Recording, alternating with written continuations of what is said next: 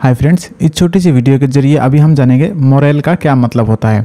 Moral का मतलब होता है मनोबल चरित्र मनोदशा, नैतिक शक्ति या मानसिक शक्ति।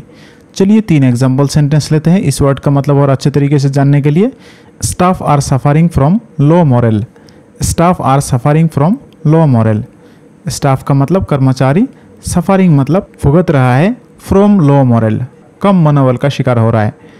पूरी सेंटेंस का मतलब है, कर्मचारियों का मनोबल गिर रहा है। नेक्स्ट एग्ज़ाम्पल सेंटेंस है। Morale is very high in the school morale is very high in the school school में मनोबल बहुत ऊँचा होता है। नेक्स्ट एग्ज़ाम्पल सेंटेंस है।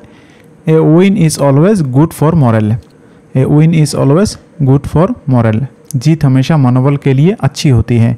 जैसे सबको पता है कोई भी गेम या कुछ भी अगर हम जीतते हैं तो हमारा मनोबल बढ़ते रहता है। इसी चीज़ को इस वाक्य में कहा गया है। तो फ्रेंड्स, उम्मीद करता हूँ मॉरल का मतलब आप समझ गए होंगे। फ्रेंड्स, अगर आप आसान तरीके से इंग्लिश में बात करना सीखना चाहते हैं, डिस्क्रिप्शन बॉक्स में दिया गया चैनल को आप सब्सक्राइब कर सकते हैं। वीडियो अच्छा लगा तो वीडियो को लाइक करें और ऐसे हज़ारों इंग्लिश वर्ड का मतलब हिंदी में जानने के लिए हमारे इस चैनल के होम पेज पर जाकर भी आप चेकआउट कर सकते हैं।